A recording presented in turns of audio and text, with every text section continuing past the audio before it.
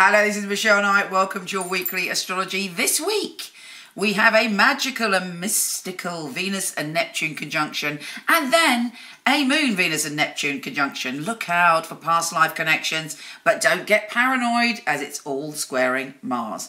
Here's your weekly astrology.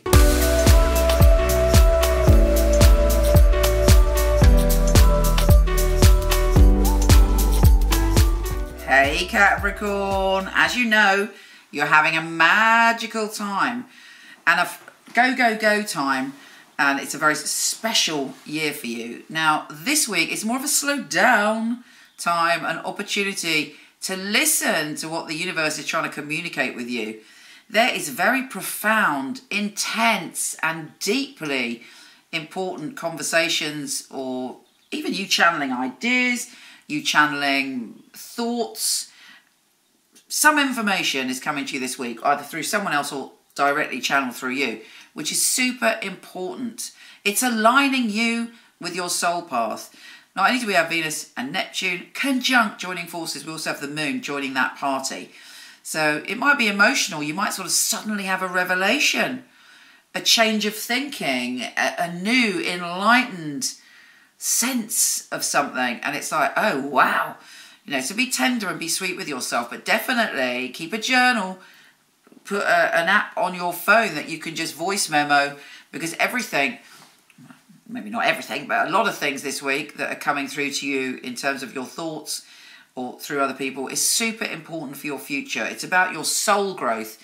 It's about you stepping through to a new space where you feel happier in the way that you're communicating.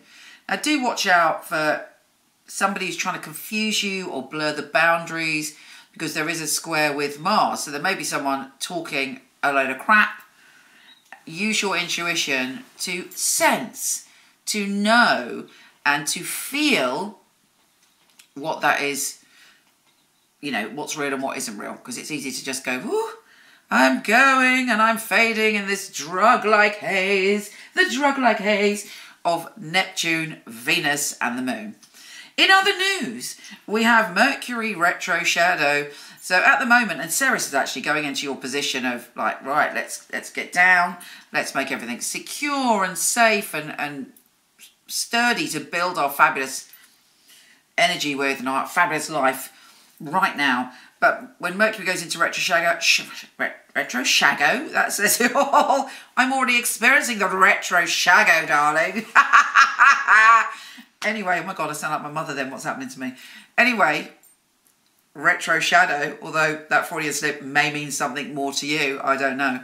Um, means just be cautious in communication so there are no misunderstandings. Take care, gorgeous, and I'll speak to you soon. If you want to check out your written monthly, weekly, yearly astrology, pop over to my website, micheleknight.com. I'm not doing readings at the moment, but I do have a company of some of the best psychics and astrologers in the world. I've had the company for 20 years. I handpick them and they are fabulous. So I'm going to start to show you, starting now, their little videos on here. Hello, I'm Sally. My readings are honest and open. I speak from my heart.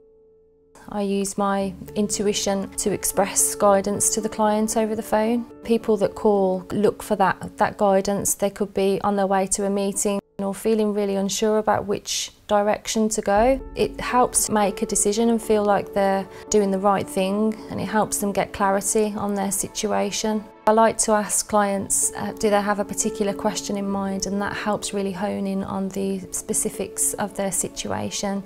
It's really important work and it feels like a vocation. I feel like I'm part of Team Light, so to speak, the team that is helping uplift the world. I like to empower people and to help people believe in themselves.